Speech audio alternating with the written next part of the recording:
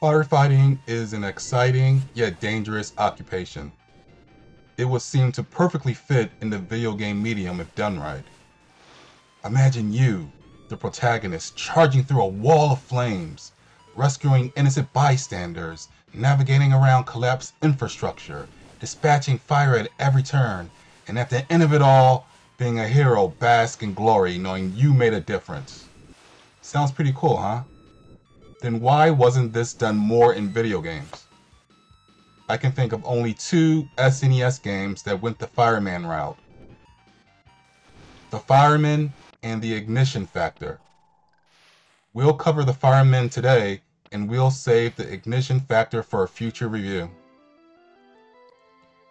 It's the year 2010 and a chemical company is having its annual Christmas party on the premises.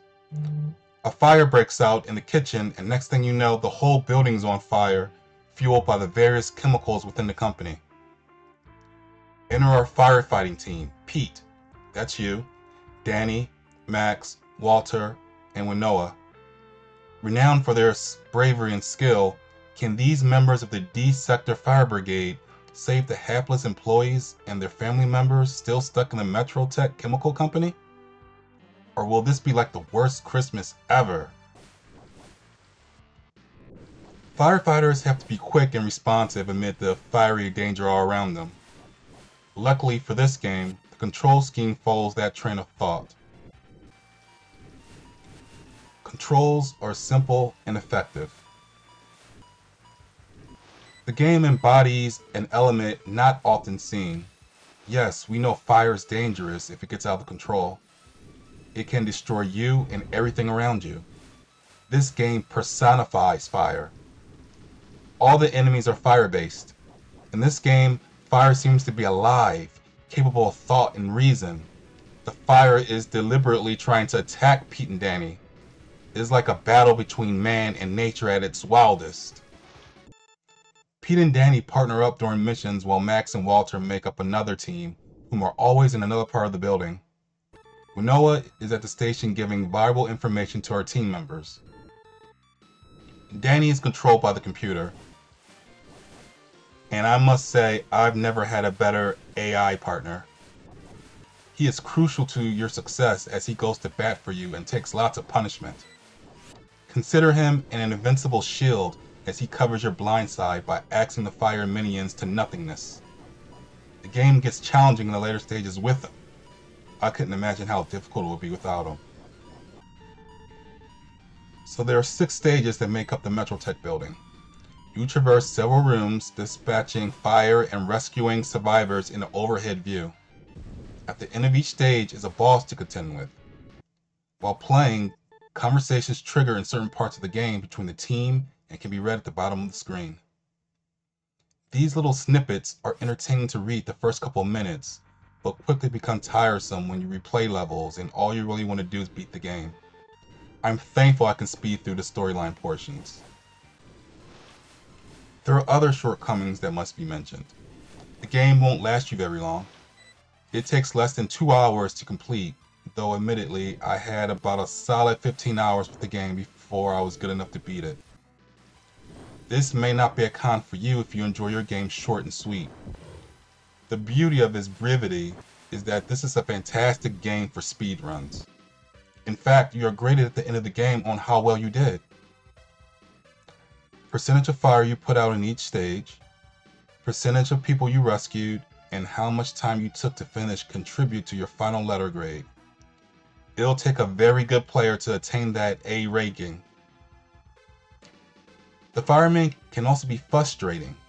Seemingly unavoidable hits, unintended hits, attacks in swarms, and your life bar dropping to almost zero inexplicably, sometimes during boss battles, does rain on the parade a little bit. Danny does his best, but even he can't save you from every last enemy that approaches. Slowdown does exist in the game, especially in stages 4 and 5. Another issue I have is there is no two-player option. A game that puts a two-person team dynamic at the forefront, yet offers no co-op play is asinine to me.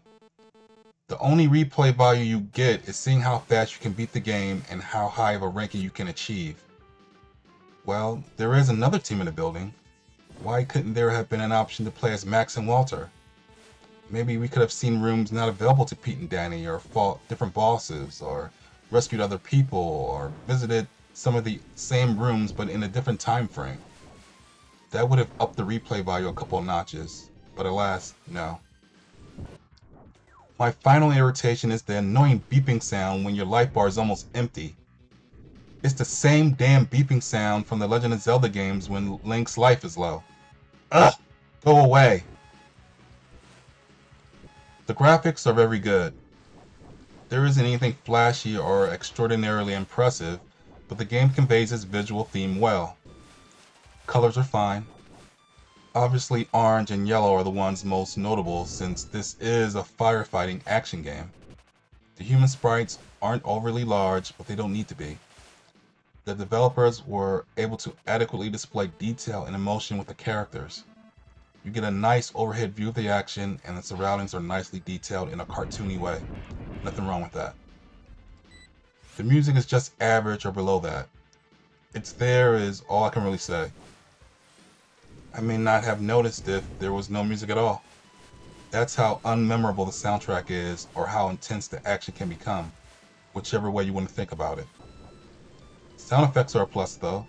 Water swooshing out of your hose and extinguishing fire sounds pretty accurate. There's good sound effects with windows breaking, when Pete is hit, his exclamation of pain makes me cringe, and the effect of Danny kicking boxes out of the way is fun as well. Here are my final thoughts. This is a solid game that puts a new twist on the top-down shooter genre. How many opportunities can we say in gaming we got to play as a firefighter and save the day? Premise aside, the game is well done. It's challenging, has nice cartoony graphics, controls nicely, and is fun while it lasts. The concept is so neat, firefighting, that this game seems fresh even to veteran gamers who may have played something similar under a different guise. Making something old appear new is a rare accomplishment these days. I would have liked to see two-player co-op, a password system, better music, and ability to play as Max and Walter for extended replay value, but all in all, I can confidently recommend The Firemen to platform and action genre fans alike. Thank you for watching this video. You can read the full review at playingwithsuperpower.com. And write in the comments below if you know of any other firefighting themed games. Thanks.